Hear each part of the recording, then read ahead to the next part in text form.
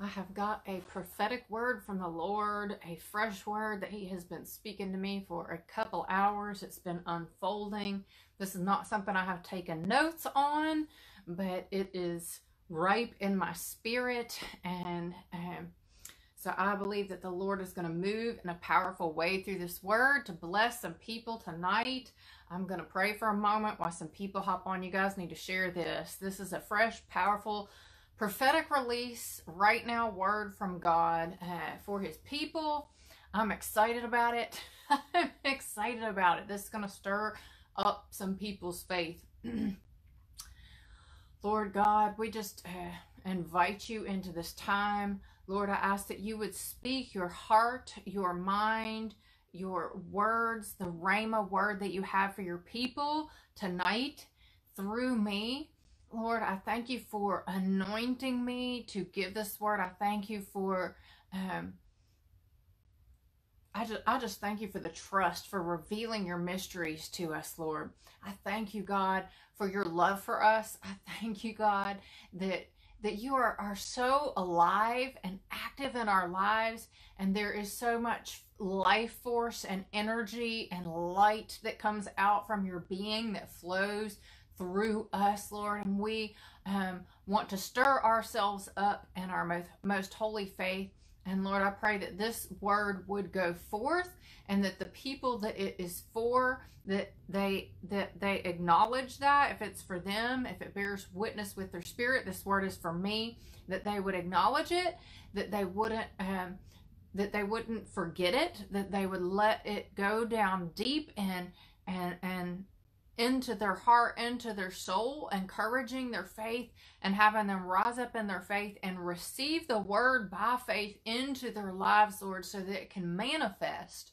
And that, Lord, I pray against the enemy trying to come in and steal this word before the full manifestation in Jesus' name, in the name of Jesus, in the name of Jesus. So I, there's like three or four things that I'm going to to prophesy that the Lord has put on my heart, and it's kind of unfolded this evening through some of the things that He's doing in my life, which He does that prophetically. He'll do something in my life and then speak not just a parable for me, but He'll say, "This is something I want you to prophesy." And the first thing that He wanted me to say is that there is a boldness booster that he is releasing to you guys tonight. By my words, by your faith, there is a boldness booster. He is boosting your boldness. And if you've been following me, this is a, a, a month of expansion. And so, for many people, in order for this expansion to come, there is a spiritual, mental, emotional, financial, boldness, a boldness that needs to come where it's an, and it's an, a boldness in your faith to believe boldly what the Lord has spoken to you and act upon it boldly. And I think this is the, the first thing that he wanted me to say. So receive that by faith. There is a spirit of boldness.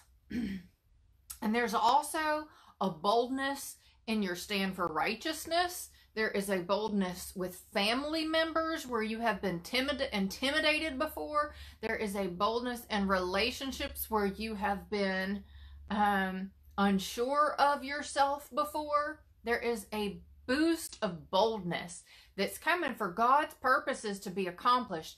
Um, there's a scripture God has not given us a spirit of fear. It's it's translated timidity in some versions, but of power and of love and of a sound mind. So that fear or timidity that that holds you back from being making a bold stand, making a bold statement, making a bold purchase, making a bold investment, making a bold decision, making a bold bold boundaries or an, a bold expansion of boundaries, which is going to be happening a lot this month a boldness expansion. If you remember the word that I spoke, uh, the the prayer of Jabez, stretch out your tent pegs, was a scripture that I said that night. There's a boldness to that, to to stretching out your tent pegs and saying this is where God is going to expand my territory. You you're setting your stakes down there. It's requiring boldness. And so God is releasing boldness in the name of Jesus. The next thing he spoke is he is going to pay back it wasn't double for your trouble. Lord, give me the words that you gave me. Um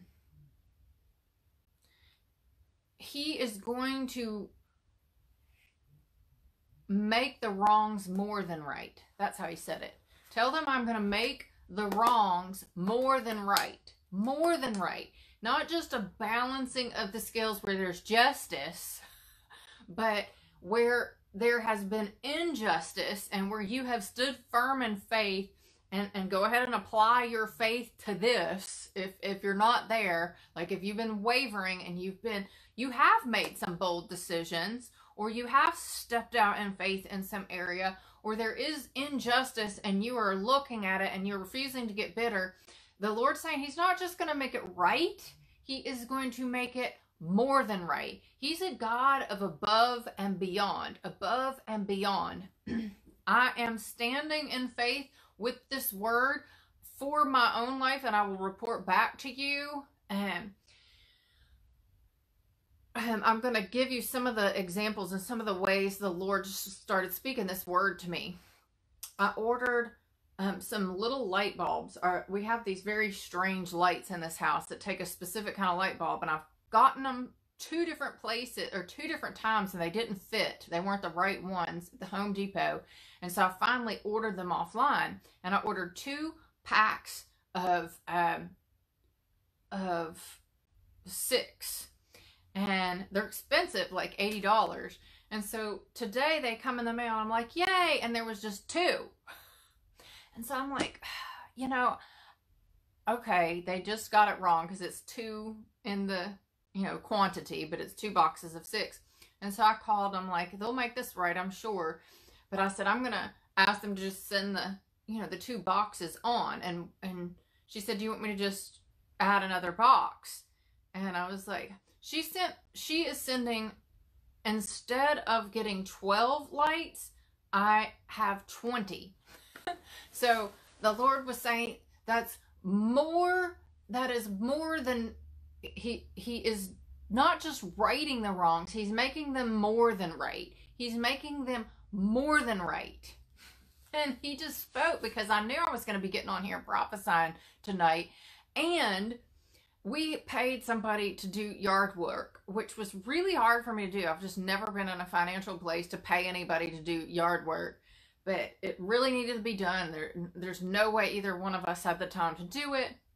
And then somebody in the Glory Tribe actually prophesied on their wall when I was looking for workers that day and kind of back and forth. Uh, um, you need to don't hoard. There's somebody who's reading this. I feel like the Lord is speaking this to me. And I'm sharing this because it's prophetic for you guys. Pick what you can, pick what you need out of it. And she said, um, you need to release that money to do the work around the house because there's somebody who needs that money. It's for them as well. And the Lord's wanting you to go ahead and do that for yourself. And I was like, okay. So I hired somebody and was and were pretty unhappy with the the way that they did their our yard. They poured dirt in it that's got rocks and gravel and like they dusted our yard when they were supposed to even it out. And um and so the Lord spoke this to me and I'm going to come back and I'm going to give you the answer to this god making this more than right for us more than right for us more than right for the for us and I, I messaged him and I'm like, this is really a terrible job. I didn't think I would hear back from him. I was incur- said us what he did good. And then I said, and then this part is really bad. And I didn't think I would hear back from him. And he's like, I'm going to go get the most expensive kind of soil. I'm going to make this right. And so I'm excited to see. I believe that it's going to be more, be made more than right, more than right. this situation. And there's, this is just a small thing. It might be in a marriage relationship where you have sunk a lot of time and love and prayers and effort and you don't seem to be getting it's not being made right. You don't feel like it's being made right. The Lord is saying he is making it more than right. I have seen this happen in my own life time and time again. And it happens if you are a sower and reaper, but this is a miraculous thing. This is a miraculous thing. This is a quick thing. This is a thing that God, when He says praise Him in all circumstances because He's working everything for good in His glory, there's some things that people have went through that are really not cool, really unjust, really hurtful, really hard for a long season. And there's a miraculous move of God through this word to make it more than right. Grab it by faith and say, okay, I'm ready to see the fullness of this. I'm ready to see this unfold. I'm ready to see what you're going to do, God, to make this more than right. So that you can see, even not in the sweet by and by, but that you can see, I get it now. I get why this had to happen this way. Because if it didn't happen this way, then these things wouldn't have come to pass. These things wouldn't come to pass. And I'm just remembering. So the Lord was telling me, I said, Lord, I need some scripture. I, you know, I don't like to just get on and talk and prophesy without some scripture that He's wanting to, you know, help give us something to meditate on from the scripture. And and He was telling me, talk about the the Shunammite woman. And Elisha was a prophet in the Old Testament, and um, there was a woman, a Shunammite woman. She was from whatever. I don't know what the name of the town is. Shuman and so that's why they call her the Shunammite woman because it doesn't tell her name. And Elisha would travel around, and she, they were fairly wealthy, and so she said to her husband, I'm going to make him a room so he has somewhere to stay when he's traveling. So she put a room upstairs in the house, made it up for him so whenever he come by, he could stay there for free. And, you know, just honored the prophet. And you know, you might be honoring God in this situation, honoring God in this circumstance, doing best to honor the Lord with your life. And then these things hit you and these things come and you're like, what in the world? And so Elisha asked his servant, what, you know, what can I do for her? What is it that she needs? And he said, she doesn't have any kids and her husband's kind of old. So she had wanted a child. So he told her, this time next year, you are going to have a son. And she was Yes. And so that time next year, she had a child. And, and some time went by. The child had grown a bit. And uh, her, her son died. And she put her son in the upper room in Elisha's bed and shut the door. And she took off running to where she knew Elisha was, which was quite a distance away. And so she's running. He sees her coming. And when he sees her come running, he knows something is up. So he tells the servant, get a staff, get let's get things going and they meet her. She says, What in the world did you do to me? You know, do you ever think that with God? You know, like He gives you some blessing or something that you get excited about, and you think, oh, you know, I'm like, okay, God wanted me to get my lawn done, and and they like now my we had moss. We were trying to get the moss up and put some grass on, and then He just dumps like this gravelly dirt in our yard that it just looks like a mud puddle now. Uh, you know, you have that situation where you thought you were getting a blessing. You thought God was coming through for you and you were doing something like you're yet. And then it's like, what in the world just happened? you know, or on a bigger scale, you know, on a bigger scale. I mean, sometimes at the beginning of a marriage or something like that, that you know you got married, God told you to marry this person, you go through some stuff that you begin to wonder, like, is this the blessing, you know? And the Lord is saying, He is making things more than right. You've got to trust him and keep moving forward because there's a miracle coming. So she's like, Why did you even give me this child if you're just going to die? I mean, because at that point, he's dead. But she had some mustard seed of faith or she wouldn't have been running looking for the prophet, you know?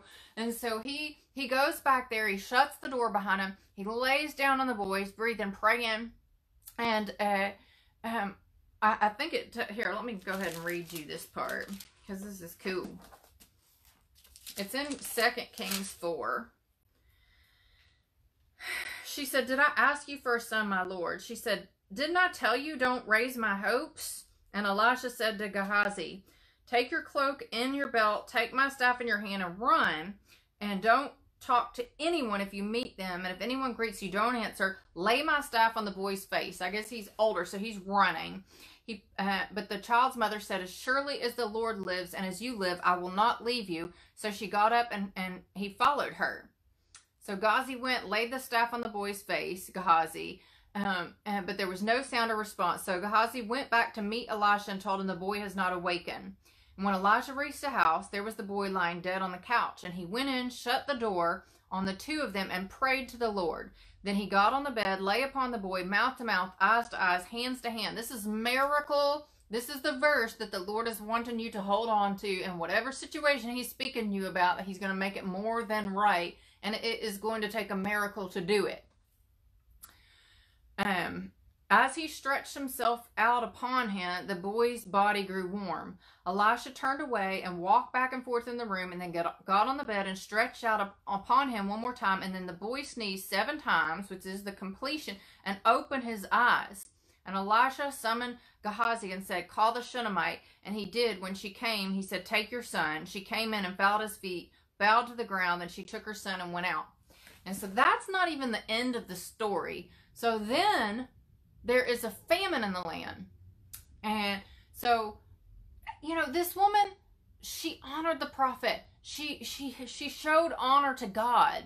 And so she got her promise. You know, then this terrible tragedy happened. It was restored back to her. And then there are things that are happening in life that are hitting things on a big scale. I mean, the, the economy can tank and the businesses around you are going down and your business might be you know, feeling like it's hitting the ground and the Lord saying, no, I'm going to bring restoration. I'm going to give you an idea. There's going to be a miracle resurrection because you're honoring me and I'm going to resurrect that thing. It doesn't matter what other people are going through around you or what would seem like it's going to hit you because it's happening to the people around you. God got you covered and he is going to do and he is going to make things more than uh, more than right.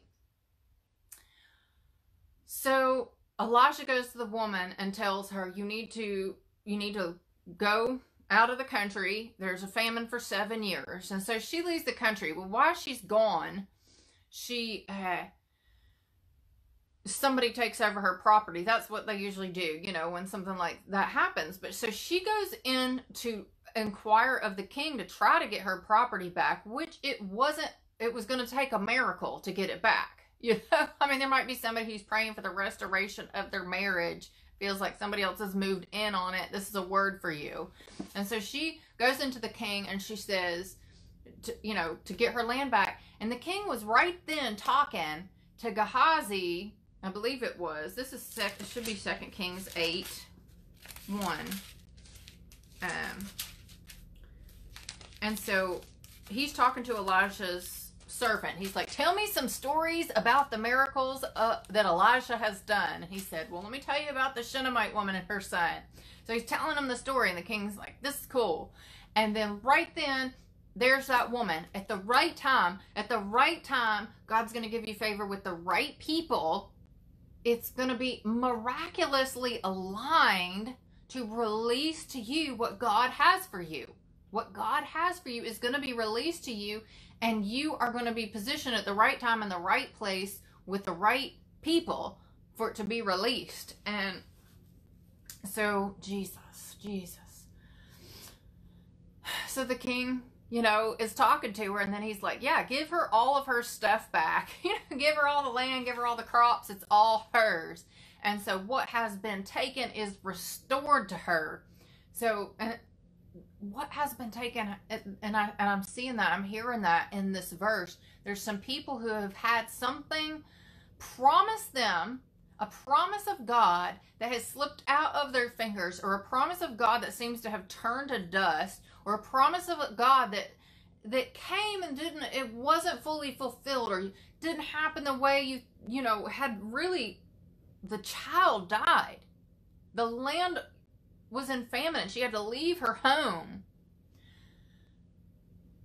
So God is bringing restoration. He is restoring. I ordered 12 bulbs. I got two. and it's interesting that they're light bulbs because this is symbolic in and of itself. And, and and the lady, I just was I was hoping that for my trouble I would just get sent the two 12 pack max and then I would have 14 bulbs. But she said like no.